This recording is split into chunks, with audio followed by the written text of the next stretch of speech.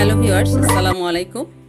Viewers, আজ আমি কীভাবে ফুড প্রসেসরে ডো করতে হয় সেটা করে দেখাবো। পরোটার ডো আর পাউরুটি বানুটির ডোটা কীভাবে আমরা করব সেটাই করে দেখাবো।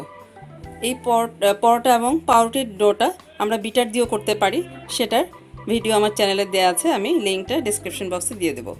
তো আমি প্রথমে দেখে নিচ্ছি পরোটার ডোটা আমরা কীভাবে করব। পরোটার ডো করতে আমি দু কাপ ময়দা নিচ্ছি। ডো করার সময় এই ধরনের প্লাস্টিকের ব্লেডটা লাগবে। এটা আমি বসিয়ে দিচ্ছি আগে।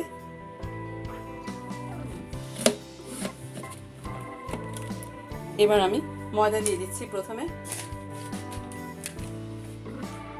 নর্মাল পরোটা যেভাবে করি, সেটাই দেখাচ্ছি আমি। দু কাপ ময়দা দিব আমি। এটাতে একসাথে চার কাপ পর্যন্ত করা যাবে। সাথে লবণ দিচ্ছি। দু কাপ ময়দার জন্য হাফ চা চামচ উঁচু করে দিচ্ছি। আর লাগবে তেল দিচ্ছি আমি দুই টেবিল চামচ দুই কাপের জন্য।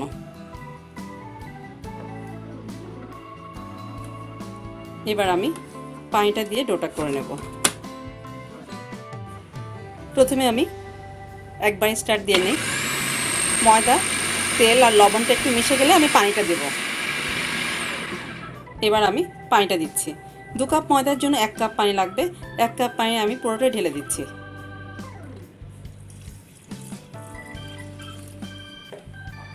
এবার আবারও স্টার্ট দিচ্ছি।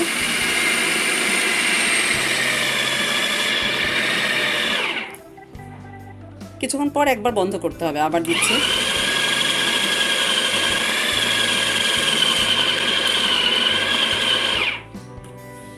এভাবে তিন থেকে চারবার দিতে হবে। পুরোটাই যখন একটা গোল দলার মতো হয়ে যাবে, তখন বন্ধ করে বের করে নেব। আবারও দিচ্ছি একবার। এটা বিট করার সময় বা ব্ল্যান্ড করার সময় মেশিনটা এভাবে ধরে রাখলে ভালো হয়।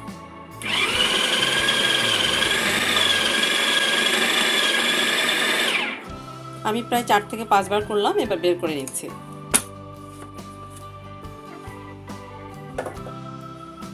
হয়ে গেছে।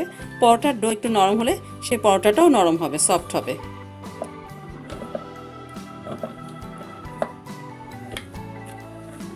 হয়ে গেল ফিওয়ার্স পরোটার ডো এটাতে আমি চার কাপ ময়দা পর্যন্ত একসাথে করতে পারব।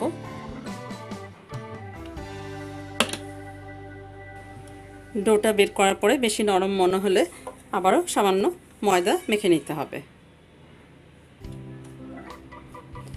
হবে দুই কাপ ময়দা, পুরো ভরা ময়দা দিতে হবে। তাহলে এক কাপ পানি দিলে সুন্দর ডোটা হবে। আমি সামান্য এক চা চামচ পরিমাণ আবারও ময়দা দিয়ে একটু মেখে নিয়ে রেখে দিচ্ছি। দশ মিনিট রেখে দিয়ে এটা দিয়ে পরোটা করে ফেলা যাবে। এবার আমি দেখাবো কীভাবে পাউরুটি বা বান্ডুটির ডোটা করতে হয়।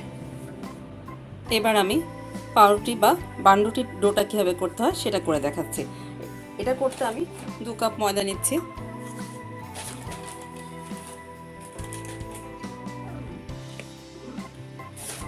আমি না ধুয়ে ওই একই ইয়েতে করে নিচ্ছি, যেহেতু দই করব, দু কাপ ময়দা। সাথে দিচ্ছি একটা নর্মাল ডিমের হাফ ফেটে নিয়ে ডিমটা আমি হাফ পরিমাণ দিয়ে দিচ্ছি।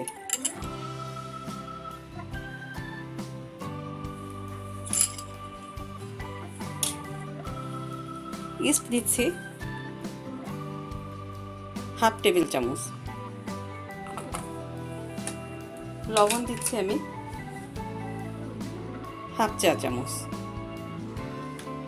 তেল অথবা বাটার দিব, দুই টেবিল চামচ। তিন টেবিল চামচই দিচ্ছি, তিন টেবিল চামচ দিলে ভালো হবে। এবার আমি চিনি দিচ্ছি। একটু মিষ্টি খেতে চাইলে এই টেবিল চামচ দিয়ে চার টেবিল চামচ দিতে হবে। যদি চিনিটা একটু কম খেতে চাই, তাহলে দুই টেবিল চামচ দিলেই হবে। আমি প্রায় তিন টেবিল চামচ দিলাম।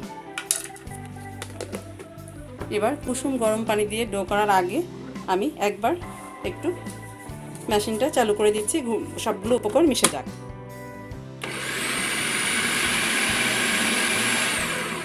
এবার হালকা কুসুম গরম পানি দিয়ে ডোটা করে নেব। এখানে পানি প্রথমে আমি হাফ কাপ দিচ্ছি। যেহেতু ডিম দেয়া আছে, তেল দেয়া আছে, পানিটা খুব বেশি লাগবে না। আমি হাফ কাপ দিয়ে আগে স্টার্ট দিই তারপর লাগলে দিতে হবে।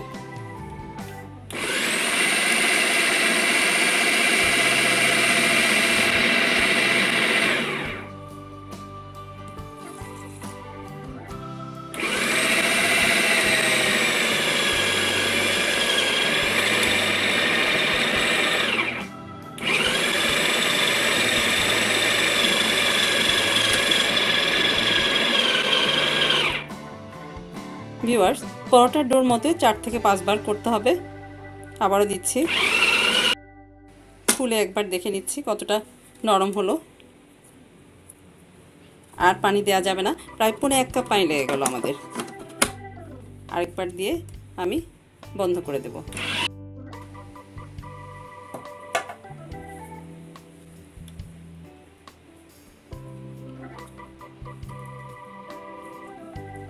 পুরো ডোটাই বের করে আমি আবারও একটু মেখে নেব।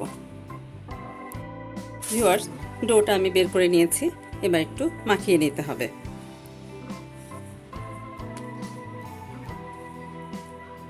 এই বান্ডুটির ডোতে বা পাউরুটির ডোতে এই উপকরণের সাথে যদি আমি এক টেবিল চামচ বা দু টেবিল চামচ গুঁড়া দুধ দিই টেস্টটা বাড়বে। আজকে আমার সেটা দেওয়া হয়নি।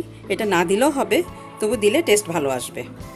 হয়ে গেছে। এবার ডোটাকে আমি হালকা ময়দা মেখে পলিতে ভরে রেখে দিচ্ছি। এটা সাধারণত এই ধরনের ইস্টের ডোটা একটু গরম জায়গায় রাখতে হয়, দ্বিগুণ ফুলে যেতে হবে।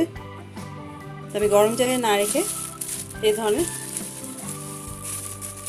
পলিতে ভরেও রেখে দিতে পারি। এভাবে প্রায় পঁচিশ থেকে তিরিশ মিনিট রেখে দিতে হবে। টাইট না করে, একটু লুজ করে এভাবে রেখে দিলে ভেতরে ফুলতে থাকবে। ফিরে আসছি পঁচিশ মিনিট পর। হয়ে গেল ভিউয়ার্স খুব ঝামেলাহীনভাবে ফুড প্রসেসরে কীভাবে পাউরুটার ডো আর পাউরুটি ও বন্ডটির ডো করতে হয় সেটা আমি দেখিয়ে দিলাম। এই যে ডোটা এখন ফুলে উঠেছে প্রায় দ্বিগুণ পরিমাণ। এটাকে এখন বন্ডটি বা পাউরুটি করে নেওয়া যাবে। তো ভিউয়ার্স ভিডিওটি যদি ভালো লেগে থাকে, আমার চ্যানেল সাবস্ক্রাইব করার অনুরোধ রইল। ফ্রেন্ডস অ্যান্ড ফ্যামিলির সাথে শেয়ার করবেন লাইক দিবেন, সবাই ভালো থাকবেন, সুস্থ থাকবেন। আজ এখানে শেষ করছি, আল্লাহ হাফেজ।